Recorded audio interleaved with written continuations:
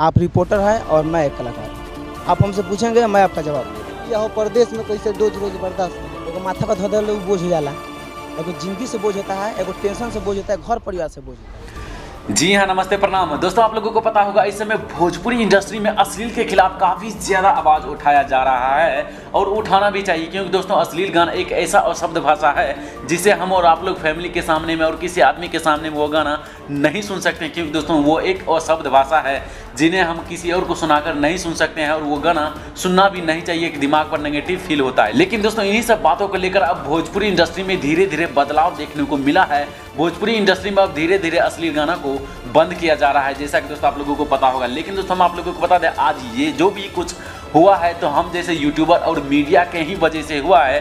क्योंकि दोस्तों, हम ही लोग और मीडिया रिपोर्टर वाले ही इन सब चीज़ों के बारे में आज आवाज़ उठाया तो इतना ज़्यादा भोजपुरी इंडस्ट्री में बदलाव देखने को मिला है, जो कि दोस्तों शायद आप लोगों को पता होगा।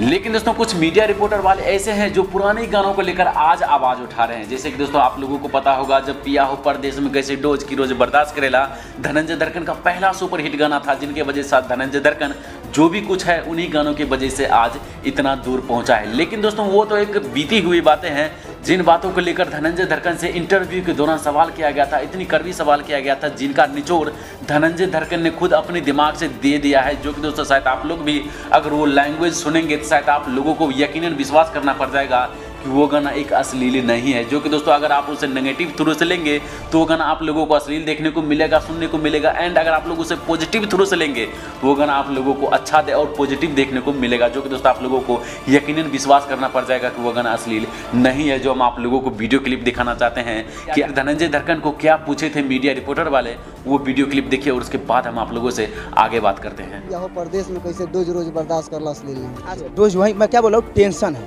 टेंशन माथे पर अगर मान लेते किसी का शादी ब्याह होता है और पाँच साल, दस साल के लिए चला जाएगा, टेंशन रहेगा तो वही वही बोल रहा है कि रोज रोज कैसे बर्दाश्त, इतना कैसे आप रहते हैं? तो देखा दोस्तों, आप लोगों को तो अब लग ही गया होगा कि उस गाने को धनंजय धरकर ने किस तरह से तोड़ बनाकर बना दिया है। अगर वह वाकई में, अगर आप किसी भी गाने को नेगेटिव थ्रू से लेंगे ना तो वो एक नेगेटिव ही गाना दिखाई देगा और सुनाई देगा आप लोगों को। अगर आप उसे पॉजिटिव थ्रू से लेंगे तो वो गाना आप लोगों को पॉजिटिव ही दिखाई देगा। क्योंकि दोस्तों, शायद आप लोगों को पता होगा, जब कोई गाना लिखा जाता है तो उसे एक तुकबंदी के थ्रू बनाया जाता है, ताकि अगला शब्द उससे मैच कर जाए। इसी प्रकार से गाना लिखा जाता है और उस गाने को हिट करने के लिए और उस गाने में ट्विस्ट देने के लिए कुछ सोचकर लिखना पड़ता है। उन वजह से लोगों को लगता है कि वो गाना अश्लील है। लेकिन दोस्तों, जो भी है, अश्लील गाना तो अश्लील गाना ही होता है। वो तो एक बीती हुई बातें है, जिन बातों को अब जो हो गया उन बातों के साथ मेरे हिसाब से खुलासा नहीं करना चाहिए। जो हो गया, सो हो गया। लेकिन अब अगर अश्लील गाना गाता है तो उन सब चीज़ों के ऊपर आवाज़ उठाना ज़रूरी है। अगर आप उतना लेकर चलते हैं तो हम यहाँ पर आप लोगों को बताना चाहेंगे। पवन सिंह हो गए खेसारी लाल यादव हो गए रितेश पांड्या होंगे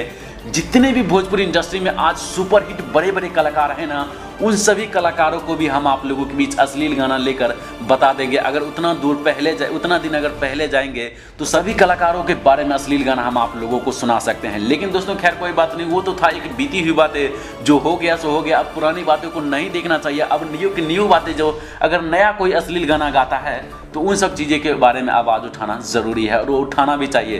क्योंकि दोस्तों, अश्लील गाना की वजह से भोजपुरी बदनाम भी होता है लेकिन दोस्तों, आप लोगों को पता होगा, इन्हीं कुछ बीते हुए दिनों से भोजपुरी इंडस्ट्री में बहुत सारे बदलाव देखने को मिला है। अब जितने भी नए नए सिंगर भी हैं ना, वो अश्लील गाना का यूज़ नहीं करते हैं। तो दोस्तों, ये सब हो पाया आज मीडिया रिपोर्टर की वजह से। तो फ़िलहाल दोस्तों, यही था एक वीडियो जो हम आप लोगों तक शेयर करना चाहते थे।